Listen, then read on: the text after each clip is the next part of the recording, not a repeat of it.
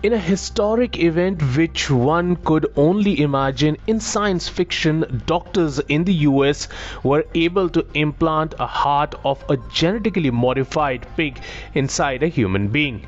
The historic procedure took place Friday, the University of Maryland Medical School said in a statement on Monday.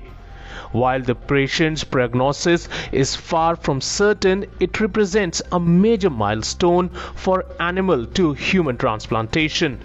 The patient, David Bennett, had been deemed ineligible for human transplant, a decision that is often taken when the recipient has poor underlying health.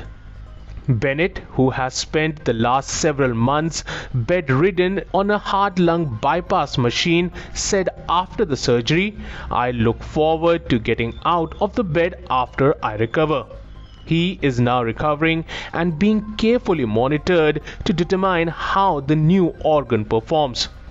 The Food and Drug Administration granted emergency authorization of the surgery on New Year's Eve as a last ditch effort for a patient who was unsuitable for conventional transplant.